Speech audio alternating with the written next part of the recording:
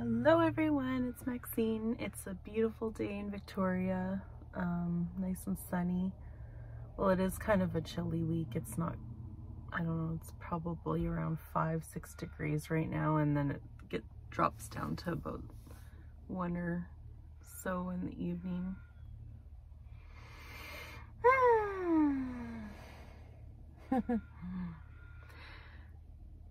I guess um, I didn't have so much of a plan today with my, um, oh, I didn't have a plan so much today with my video. I just, just came here and I thought I'll just think of something once I get here. I thought maybe I should make something autism related since my last video did a lot better than my usual. But, um, and thank you for that. Thanks for watching. I appreciate it. Um,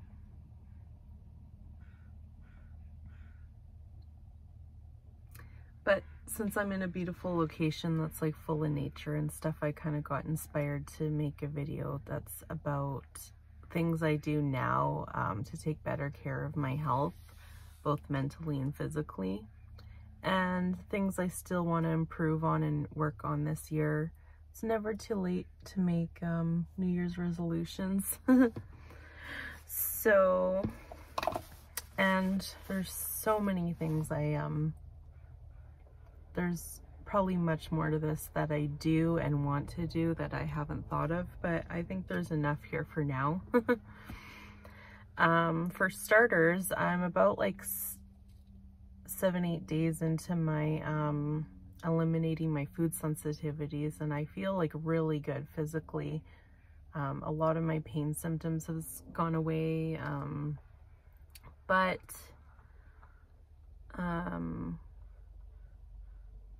like a lot of my food sensitivity signs has gone, but um, one thing is I haven't been working as much lately and I've also, I have been taking the dogs for quite a lot, lot of walks, but I haven't been as active and my and nothing I haven't been pushing myself physically and I haven't been like working out with weights or anything. So my pain levels might be really good because of eliminating my food sensitivities, but it could also be because I'm not pushing myself physically very much, which I mean with uh, with having fibromyalgia, you have to just do what you can and it's not necessarily a bad thing to not push yourself to not be in having chronic pain.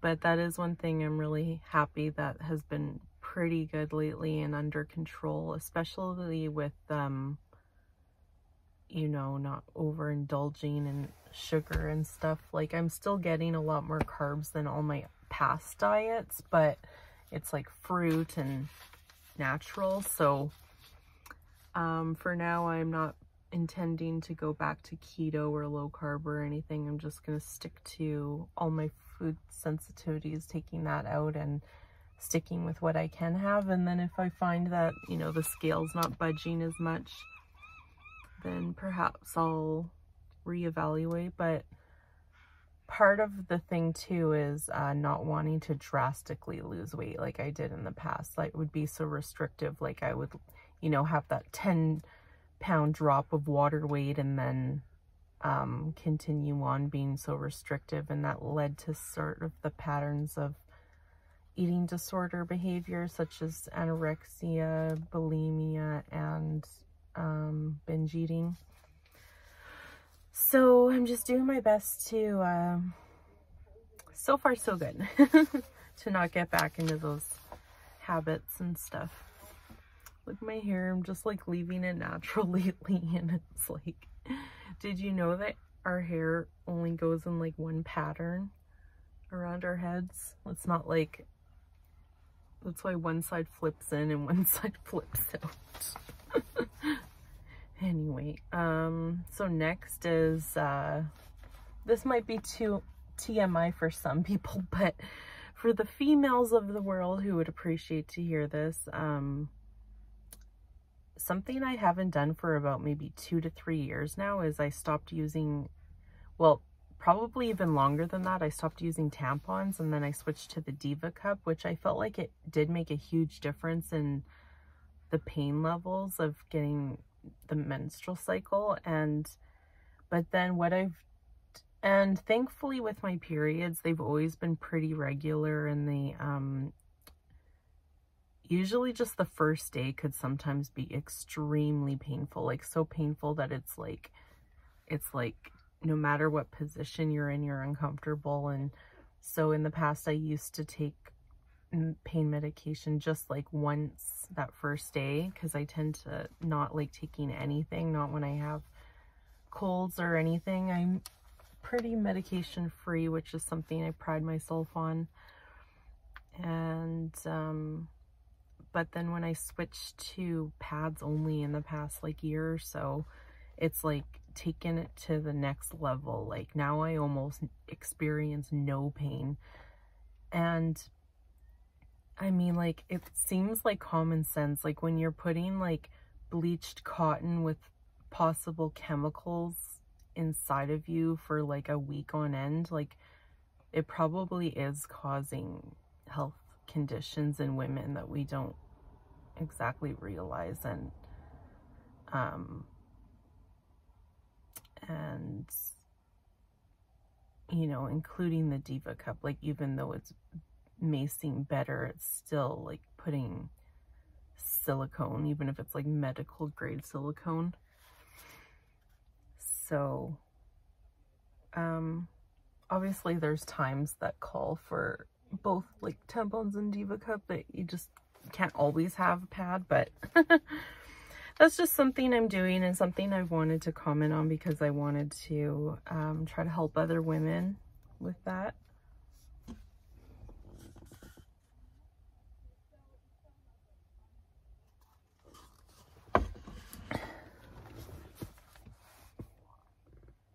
So next is, um,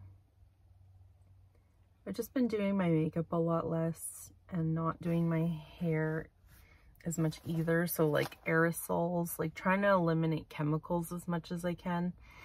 I've even gone to work, like even though I have really bad rosacea, I have like no eyebrows, I have like skin issues, I look like horrible without makeup. I've just been trying to find my inner strength and confidence and not care so much and try to let my skin breathe and heal. But I've gone ages without wearing makeup like I used to. I used to like practically never leave the house. I used to like go in the pool with makeup. I used to, starting at a really young age, I was wearing makeup, which I'm sure just did like permanent, cheap makeup that did probably permanent damage to my skin as well. But I've just been trying my best to do that less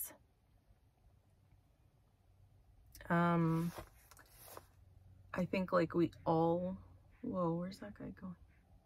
Oh, there's a ramp right there. This boat, it looked like it was heading towards the rocks and I thought, ha, he better slow down, but there's the ramp. anyway, um, with my bad habits. So because I don't drink, I don't smoke, I don't do drugs, I don't gamble anymore, um, eliminating my food sensitivities, ending my eating disorders. Like, I feel just like in a really good place. Um, the only thing,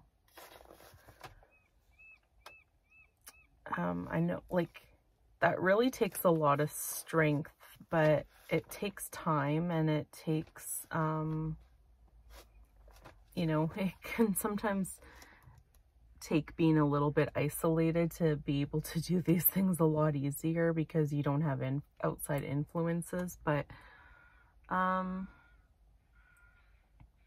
I'm just trying to think long term now. And like I've said in other videos, just um, taking out as many bad habits as I possibly can, taking away dependencies because I just think a lot of us are so dependent. I'd even like to quit coffee if I can. It'd be nice to not have a migraine or a headache if you miss one day without caffeine. So that's one of my next goals, but I'm really proud of myself for that because considering my circumstances growing up, like considering the things I've been through and then getting diagnosed late in life, um, I'm just proud that I'm not participating in those things. And it's not like saying, oh, I'm so much better than others. And it's like, um, it's not, it's nothing like that. Like there's no shame if, for a long time, I could just drink socially and not get in excess. It's just that there was a job that I had this past year and I noticed it, the stress of it or the isolation of it or something of it was making me start to drink more often. Like, and then I thought, oh, this isn't good.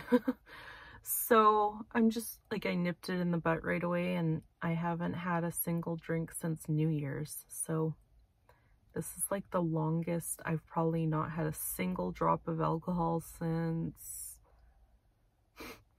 well, I started drinking before I turned 18. So like, even though I could have like one drink, one, two drinks a month in the past like year or so, I just think that this is probably the longest I've gone with it. Well, it has to be because it's already March now. So January to February, February to March. So two whole months. That's pretty awesome. And um, I just picked a busy location. People are enjoying the scenery and then they have to listen to me talking. so that's why I'm kind of whispering. Mm. With the bad addictions, it's like getting myself out of bad habits in terms of ending kind of like toxic relationships and and making sure just to be cautious in entering new relationships like if just things don't feel right or but I'll talk a bit more about that in a bit because I definitely need to get back out there. I have been to myself too long the past quite a few years now. Just like after the pandemic and then um but I'll talk about that in a little bit.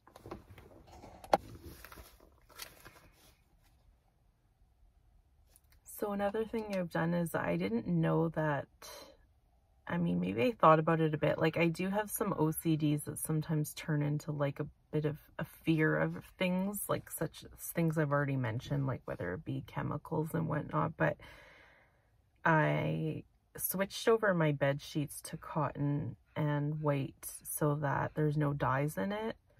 And I think just because, you know, when you're sleeping and you sweat and stuff, and there was a time where I didn't have time to use brand new um, towels, like red towels. I just went straight to using them before washing them and the red dye just got all over my skin and ever since then it kind of creeped me out and made me realize that well you know our skin is the biggest organ in our body so what we put on it we absorb so that's kind of where my mind's gone and I, I like love wearing black and that'll probably never change. I'm not going to switch over my entire wardrobe to white clothes. that would be tragic. But switching over my bed sheets is something that I've done. Um, for the probably at least 10 years or more, I've worn only deodorant, not antiperspirant, because when you're when you have antiperspirant, you're not allowing your body to release the toxins built up inside. So that's something I've done for a long time. Just recently, I accidentally bought a antiperspirant so when I put it on, I put like just the, I just kind of, instead of like caking it on, I just kind of pat my armpit because I'm like really, I'm not going to throw it away, but I'm not going to continue on with that. That's the first time I've bought antiperspirant in like a really long time. Um, footwear, I kind of made like a little video of that recently that before I used to be I had like a girly aesthetic and I would, even when I was a server, I was wearing like flats, which, which is so silly. It's like you're, you know those like runners where they're people outside running and they do it barefoot? Well, it's one thing to run barefoot on the ground where it's like easier on your joints and body, but when you're running or walking all day on concrete and that that's really hard on the body and that's not natural. Like what running on grass and stuff that's normal but like on concrete so wearing flats all day was like really bad for my fibromyalgia before before I even got the diagnosis but um so one thing I do now is I wear runners a lot and it just completely has not healed my disabilities but it's um just improved tremendously and I just want more girls to be aware of that because I think guys are the ones that wear runners mostly but we should be considering that as well and it just sucks because the nice like the supportive the Dr. Scholl's and all that stuff like it's not very cute it's not sexy with some outfits so even with insoles and stuff, sometimes that's not enough. It's like the whole, it's the whole, like, shape and everything of the shoe that makes it good and having so much support underneath. And blue light glasses, I got rid of mine or they broke or something, but that's something I want to get back because we spend so much time on our phones that like there were times the outsides of my eyes were like red. Because okay when i had my home daycare i'd have to communicate with the families a lot. I'd have to advertise and communicate with people. And then when the kids were napping i was on my phone so much that my eyes were like red on the outside. Like it looked really bad and i thought oh my god is this like eye cancer or something but now I'm noticing that everyone, like actors and influencers and celebrities, like everyone's eyes on the outside, because we're just spending way too much time on our phones that like than never before, ever before. so we need to be doing, we need to be being more proactive and taking care of our vision. So whether it be spending less time on our phones or just you know, getting those blue light glasses. I think they're like really helpful and necessary because I remember when it was at its worst, I got the blue light glasses and it almost felt like instant relief. Like my eyes stopped being itchy and dry. And I think there was a time where me and my mom drove to Victoria from Manitoba before we decided to move here. And in that week of just driving all the way here and then driving back, um, my eyes had just completely cleared up and they were whiter and brighter than I had seen them in years. And it really got me thinking like, oh my God, we're spending way too much time on our phones as a society, not just me, but everyone. And next is I'm probably never going to dye my hair again. And again, these are just things I'm doing. It's not shade and it's not telling anyone what to do, but I've had every color under the sun and now I'm just embracing what I have. And I think that eventually, like I used to hate the color of my natural hair, but I think that once it gets longer and the sun kind of gives it more dimension and like, um, highlights and lowlights, it'll look nice again. But I was just thinking that that could be one of the reasons as well that I had brain lesions in my scans. It wasn't just from secondhand smoke that the neurologist thought, but I was dyeing my hair at a really young age. So when you're doing that, I'm sure the chemicals just absorbing into your skull. Maybe not. Maybe not quite that deep, but the fumes and all that, like all that plays a huge factor in our health. all of a sudden, all these companies like tampons and antiperspirant and all the things I've mentioned, they're going to come and end my life. That's horrible. I don't actually believe that. I'm not like that paranoid, but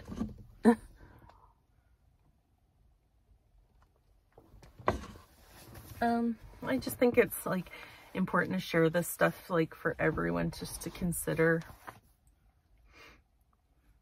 And next is natural toothpaste. So for quite a long time, I've bought in like organic and people might say, oh, it's all shit. But the thing is, um, even if it's like, okay, say it's a bit more expensive and say it is all garbage and it doesn't matter if you buy regular or organic, it's, it's, it's like manifesting and it's like, it's like believing. It's kind of like a placebo right? So if i think oh this is better than the other crap out there then i'm sure it is helping me in a way because if i started using all the things i'm fearful of then that would bring on more stress that's neat than needed. So that's how I'm looking at a lot of things lately because I'm like, oh, I wasn't buying strawberries and blueberries for so long because they were so expensive. But then I'm like, yeah, but I go spend a single meal, sometimes up to $15 at like a restaurant. And that's for a single use. So when you buy fruit and things like that, it lasts several, you know, times. So I'm starting to try to switch my brain in that way of thinking as well. But that doesn't mean that the um the food chains out there should be like skyrocketing their prices. I think it's like getting really ridiculous out there for people and I'm very sorry to the people out there with families and they have to decide between uh, necessities. But um cruelty free. So that's something not as much vegan, but I try my best to buy vegan and cruelty free, but cruelty free for sure. So shampoos and hand soap and toothpaste and just anything possible because there's still companies out there testing on animals and that's just wrong. I mean, I know people can try to justify it one way or another, but I think by now we know what chemicals are harmful and what isn't as. So is it completely necessary to, it's just really horrific the things that we do just for um, the almighty dollar. Next is I've gone back to pescatarian. So I was vegetarian, pescatarian, vegan, kind of like mostly pescatarian in this time, but from age 15 to about 30. And then around 30, 31, I ate meat for several years on and off. And then up, I think I went a year again back to pescatarian, then I ate meat again. But now I'm about probably two months in again to not eating meat, including chicken when I was when I lost a lot of weight and I did keto, I was having like extreme meat cravings. so that's kind of one of the reasons I just thought, okay, maybe I should try it. Maybe it would help me feel better or whatever, like red meat and and but I have a lot of regrets about that. I kind of wish I hadn't ever. It would have been really cool to go from age 15 to like the end of my life never eating meat again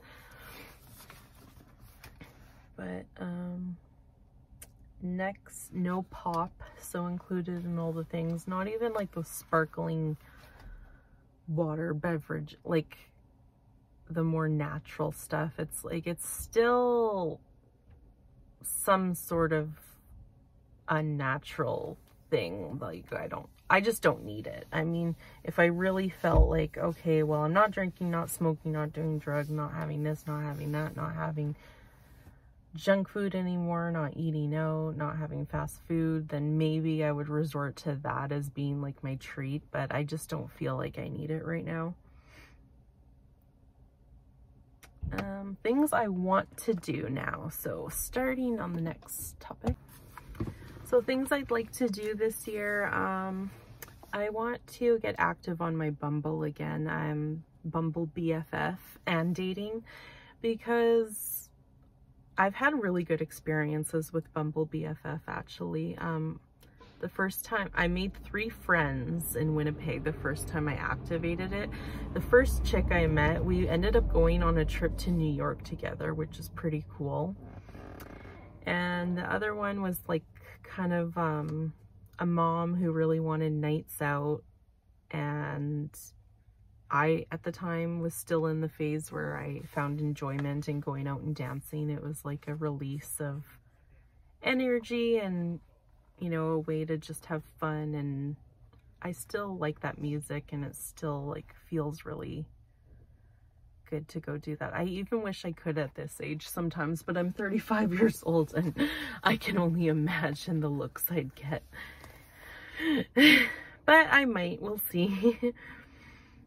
and then the third one was kind of like, I hadn't had a lot of like plus size friends in my life. So it was cool to meet someone who was kind of like me and had a, shared a lot of my experiences in life from childhood to uh, her age. And some of those relationships didn't last because I just kind of became like really selective. And it's like if people's morals didn't exactly align with mine, I just found it really hard to maintain the relationship. That's kind of one of my like autistic things or just me as a person. But like, if you're a supporter of Donald Trump or something like that, like, please get lost.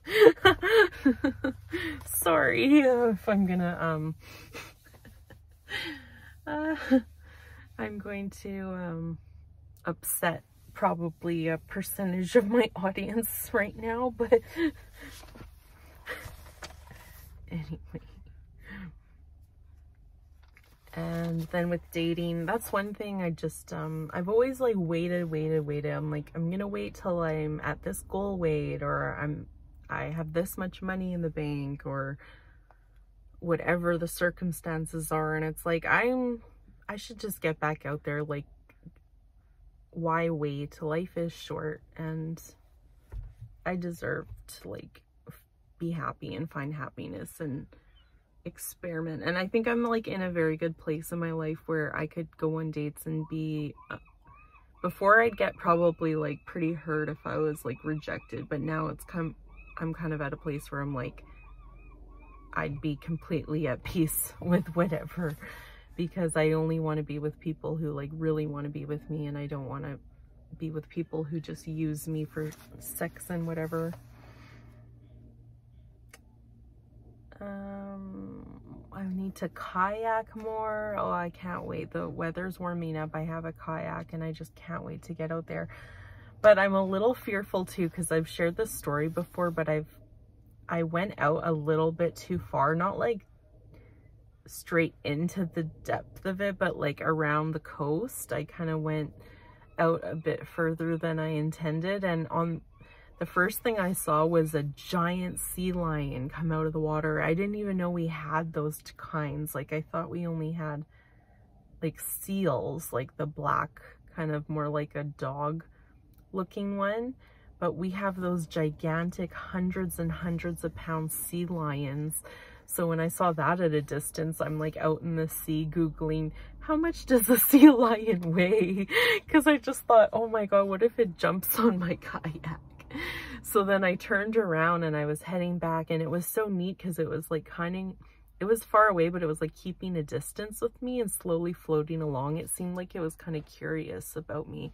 And then all of a sudden I saw two whale watching boats and they had their engines off. And then I saw two dorsal fins come out of the water and they were just gigantic. And it was a really cool experience, but I thought, I think I kind of scared myself a little too because every time I'd go out there, it was like you could see straight down until you get to a certain depth and then you can't really see anymore. But so my imagination started running wild. But that's something I'd like to do and maybe I'll make other friends who like to kayak and that's something we'll do.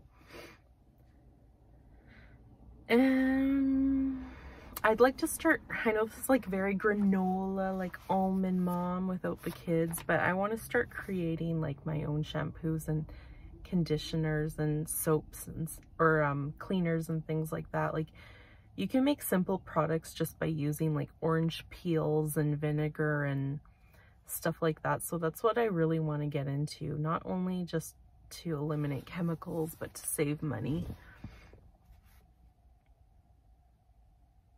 Mm. I want to do more sightseeing in Victoria when I can, like experiencing different must-sees in Victoria that I haven't done yet, whether it be for financial reasons or just haven't made the time or haven't looked into things. I've been living here going on two years this summer. And although I have seen so many beautiful things and gone and had so many amazing experiences, there's still just so much more to see. So that's something I want to do. Next is, uh, I'd like to make neurodivergent friends and I'd love to make a podcast where I can like interview other neurodivergent, whether it be like early diagnosis or late diagnosis. I'd love to meet more people like me and or like us and interview and see what their experience has been like because I think that could just be really helpful for others and for myself.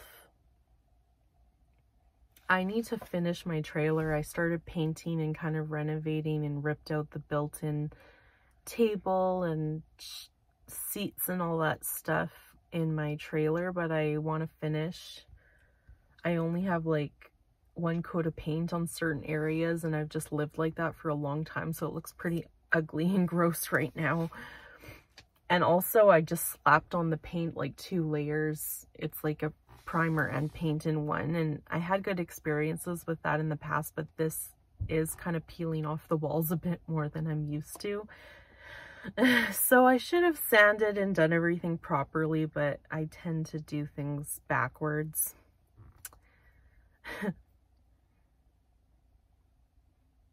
um, I want to speak more kindly of myself. I think I'm doing pretty good with that now um, and others. I mean, people make mistakes and sometimes it's easy to be critical, but the only time I'm like really critical of people is if they're extremely critical of others and judgmental. It's like, just let people live and take a look in the mirror when you're judging. And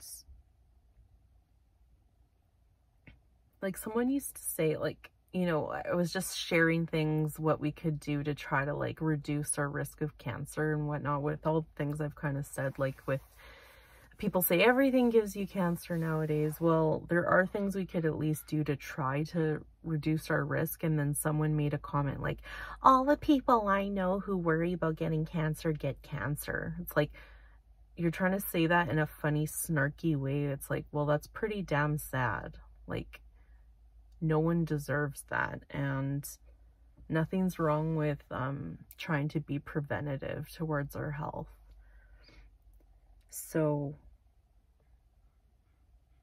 yeah just um, doing better doesn't mean nothing bad is ever going to come or happen but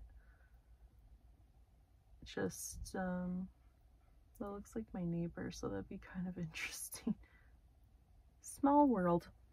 Um, last is life is short, but I don't want it to be that short. I want to live a long time. Um, I used to not take very good care of myself and I probably have a shorter life expectancy being autistic, having fibromyalgia, which is actually, I think is EDS. I have to look into it sometime. I was diagnosed with fibromyalgia, but I have a lot of the EDS symptoms like more so than fibromyalgia and there is some overlap. So that's something I want to learn more about because I think people with EDS possibly do have a lower life expectancy but if there's anything I can do in that regard and know just to know better about myself and to live a better life there's no harm in that. So it would be nice to figure that out because fibromyalgia has always felt like a default diagnosis in my opinion like, oh, you don't have MS, you don't have lupus. I guess it's this. So, yeah, that's something I'd like to do. And, um, I want to live a long life and there's still a lot I want to accomplish in this life. And so if there's anything I can do to better myself now, I mean, it's never too late to make an effort. Like, I can't think like, oh, well, I've already poisoned myself or, oh, when I was a child, I didn't have um, a choice in the matter and my body's just ruined so well. But th no, there are things that we can do to help because and I think I'm doing pretty damn good for the first time in my life in terms of all of it. So yes, I'm pretty proud. Anyway, thank you so much for listening to me ramble today. Today was more so on a whim. I did write some things down to keep my brain more organized because if I don't do that at all, then this video would probably be three times as long. but yes, thank you. And I always have a hard time saying goodbye. Please comment, like, subscribe. Please comment some of your um, wellness tips, mental health, physical, whatever it may be. Some things you like to do, some things you like to make yourself. Like I've mentioned, soap, shampoos, and all that stuff and please um let me know. So yeah have an awesome day